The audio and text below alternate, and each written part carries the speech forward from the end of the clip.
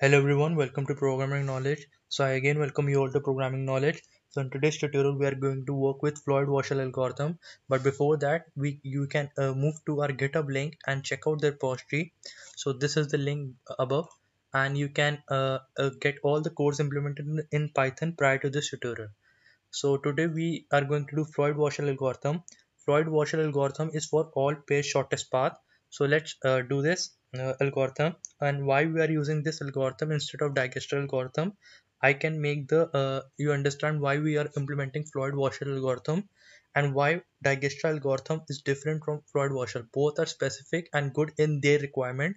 So first we figure out the requirement, what is the requirement, and then we judge what algorithm needs to needs to be used and when. Suppose uh, title is Floyd-Warshall algorithm, description is all pairs shortest path.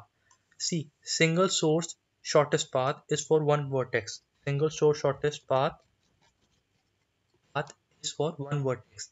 And all pairs shortest all pairs shortest path is for v vertices. Since Dijkstra algorithm is a single source shortest path and Floyd-Warshall is all pairs shortest path. Please make a note, single source shortest path is for one vertex, all pairs shortest path is for v vertices and Dijkstra algorithm is for one uh, uh, uh, Dijkstra algorithm is a single source shortest path hence it uh, refers to it is for one vertex. But what we do time complexity is e log v for one vertex. For v vertices the time complexity be, complexity becomes v star e log v. The minimum value of e is equal to v minus 1 that is in the case of uh, minimum spanning tree. And the maximum value is v square. I can uh, tell you why. That every vertex v can make edges with remaining v minus 1 vertices so this makes the case where value of edges is equal to v into v minus 1 uh, uh, so v square we can take the upper bound of this. So when we uh, uh open the equation we get v square minus v square minus v. So we take upper bound as v square. So when we take the e value as v square and when we substitute this in our algorithm uh, in our equation so uh, we continue the equation is v star v e log v. When we uh, put this value v e log v and we put this value of e in uh, e is equal to v square we get this. And the resultant time is get we get is v cube log v. But Floyd-Warshall takes only v cube only. We are going to see how. But uh, I hope you all must be clear that uh, a quick recap of this. E log v for one vertex. So for v vertices it is v into e log v. That is v e log v we substitute the value of e is equal to v square from here and we get v cube log v. So, so this is the uh, case where we use uh, Dijkstra algorithm. If we use Dijkstra algorithm for shortest uh, all pairs shortest path then the uh, time complexity becomes v cube v cube log v but Floyd-Warshall takes v cube only. So just is the case if we if we use Dijkstra algorithm Dijkstra algo for all pairs shortest path. If we use that is v cube log v if we use Dijkstra algorithm for all pairs shortest path uh, this is a uh, time complexity is v cube log v but Floyd-Warshall takes v cube only. So we can figure out now how we can implement this function. So let's make a function define print matrix print matrix would take a matrix as a parameter and is going to print it so we can uh, implement the function. See define print matrix m r comma c is equal to len m comma len m of 0 uh, then for i in range r for j in range c we are going to print m of ij m of ij end is equal to this. And then next line we print an empty line. This is our print function.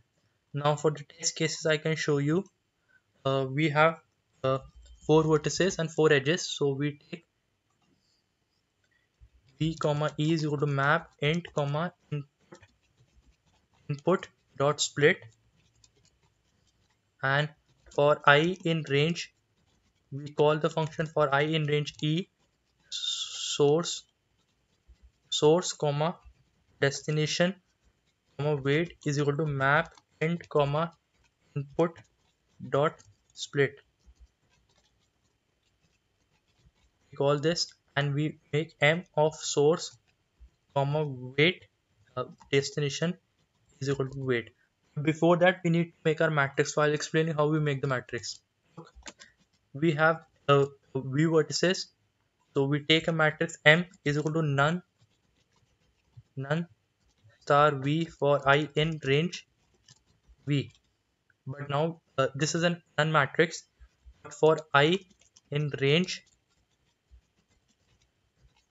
v for j in range v if uh, here you need to see there are two cases.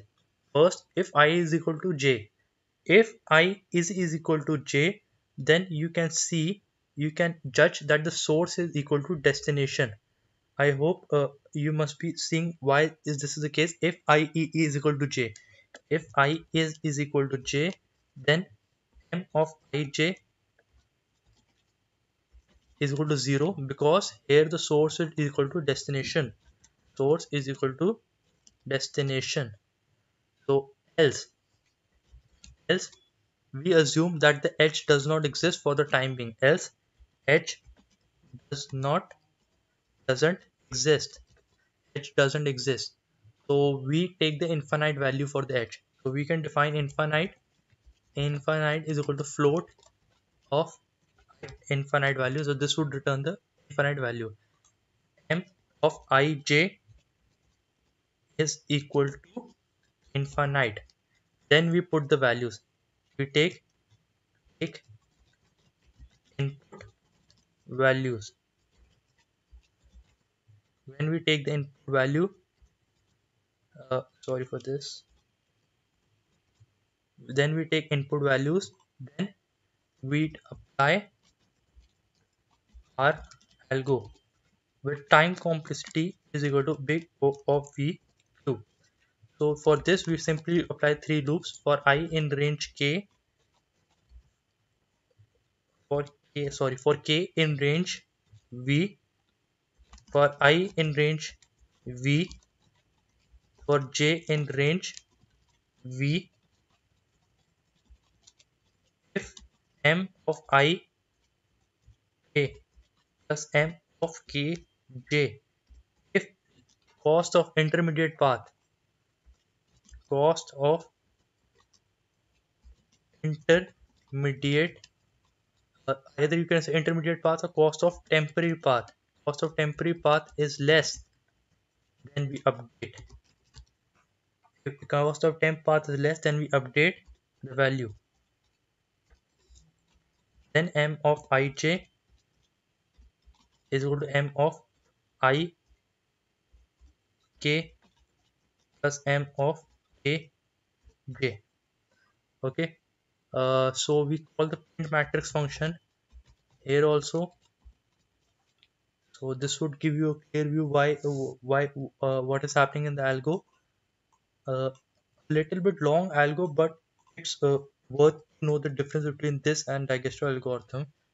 Uh, now we can run our algorithm and look for the test cases. So basically first we uh, let me comment this out for a while. So this would be like first we yeah first we see this is the input uh, the this is the diagonal elements here i is equal to j that is source is equal to destination though the edge is uh, edge is 0 else as per the input 0 3 is 10 0 1 is 5 good.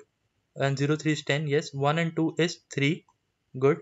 And 2 and 3 is 1 good. But now after applying the operations let's print our matrix. Now when we apply the uh, apply the operation yeah uh, let me okay let me put one line here print. So this would give you clear distinction yeah. So this is the uh, algorithm after applying the operation.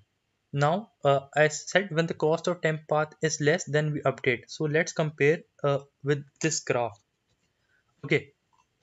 The cost of 0 to 0 is 0 good. The cost of 0 to 1 is 5 minimum. The cost of 0 to 2 is 8 so 5 plus 3 is 8 good. The cost of 0 to 3 is we can go from two path okay? Uh, let me uh, let me show you one thing.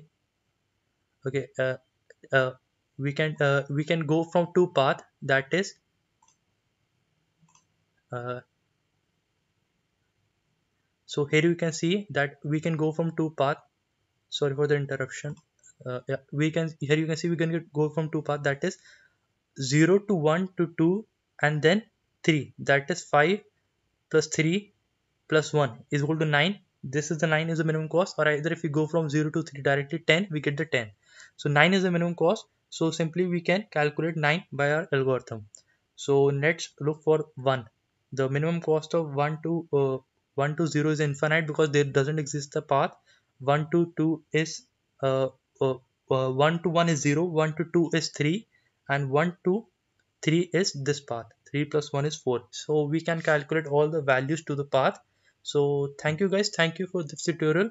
So uh, the basic part was was o of v algorithm run the loop for three times uh, v uh, three times v, v for the v and just update the value for if the temporary path is less than just update the value. And i've told you why we are using this in case of Dijkstra algorithm if we go for all shortest path. Thank you guys. Thank you so much. Well uh, so catch up in the next tutorial